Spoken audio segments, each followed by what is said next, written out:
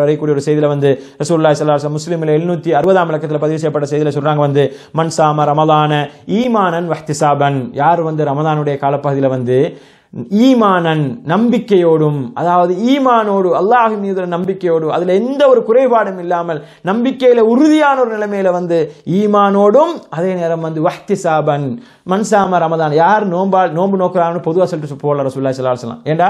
முஸ்லீம்கள் எல்லாருமே ஈமானில் சம்பூர்ணமான நிலைமையில இல்லை.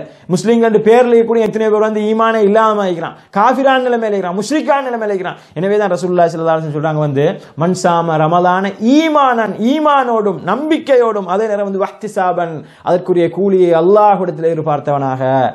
துனியா மக்கள்கிட்ட எதிர்பார்த்து எதிர்பார்த்து மக்கள் தன்னை புகழ வேண்டும் மக்கள் தன்னை நோன்பாளி என்று சொல்ல வேண்டும். இதற்காக வேண்டியெல்லாம் இல்லை. அல்லாஹ்விடத்தில் கூலி எதிர்பார்த்தவர்களாக அல்லாஹ் மீது நம்பிக்கையில் உறுதி இருந்தால்தான் அல்லாஹிடத்தில் கூலி எதிர்பார்ப்பான். இல்லாம இது ரெண்டு ஒன்றும் என்ன செய்ய முடியாது தனித்தனியாக வர முடியாது. அல்லாஹ்வுடைய நம்பிக்கையில உறுதியான ஒரு தௌஹீதில் ஏகத்துவத்தில் உறுதியாக இருந்தால் தான் அவன் என்ன செய்வான்? அல்லாஹிடத்தில் மாத்திரம் கூலி எதிர்பார்ப்பான். இல்லாட்டி அவன் என்ன வந்துடும் ரியா என்று சொல்லக்கூடிய முகஸ்துதி வந்துடும் மக்கள் புகழ வேண்டும் என்ற அந்த புகழ்ச்சிக்கு வேலை செய்யற அந்த பண்பு வந்துடும் அவன்கிட்ட. எனவே தௌஹீத உறுதி வந்து சொன்னால் அவன் என்ன செய்வான்? அல்லாஹ்விடத்தில் கூலி எதிர்பார்ப்பான். அப்படி அல்லாஹ்விடத்தில் கூலி எதிர்பார்த்து அவன் வந்து நோன்பிருப்பான் என்று சொன்னால் உஃபிர் அலஹோ மா தக்கத்தமம் இந்தம்பிகி அவன் முன் செய்த பாவங்கள் அனைத்தும் மன்னிக்கப்படும். சும்மா ஒரு நோன்புக்காக வேண்டி இப்படி எல்லா பாவத்தையும் எல்லாம் மன்னிச்சிட மாட்டான். எப்ப மன்னிப்பான்? சும்மா ஒரு நோன்பு பிடிச்சா மன்னிக்க மாட்டான். அவனுடைய நோன்பு ரமதான்ல பிடிக்கக்கூடிய நோன்பு அந்த ஈமானோடும் அல்லாஹ்விடத்தில் நம்பி நம்பிக்கை எதிர்பார்த்து அந்த நன்மை எதிர்பார்த்ததாக வந்து நோன்பு இருக்க வேண்டும்.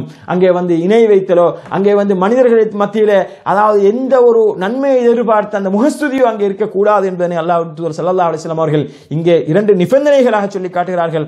அப்படி அந்த நிபந்தனை பேணப்பட்டு நோன்பு இருக்கும் இருப்பானே ஆனால் அவன் செய்த முன் செய்த பாவங்கள் மன்னிக்கப்படும் என்று சொல்லி ரசூலுல்லாய் சல்லா அலிஸ்லாம் அவர்கள் சொல்லக்கூடிய செய்தி முஸ்லீமிலே எழுநூத்தி அறுபதாம் இலக்கத்தில் பதிவு செய்யப்பட்டிருப்பதை நாங்கள் பார்க்கிறோம். அதே நேரம் அன்புக்கும் பெருமைக்குரிய அல்லாஹ் நடிகார்கள் இஸ்லாமிய சகோதரர்களை நாங்கள் ஏற்கனவே ஞாபகப்படுத்திய ஹதீஸ் வந்து முஸ்லீமில் ஆயிரத்தி நூற்றி ஐம்பத்தி ஓராம் இலக்கத்தில் பதிவு செய்யப்பட்டது. பொதுவாக நோன்புக்கு இருக்கக்கூடிய நன்மையை பற்றி பேசக்கூடிய ஹதீஸ் வந்து அதுவும் அபுஹர் அலி அல்லாஹ் அவர் அறியக்கூடிய ஹதீஸ் என்ன?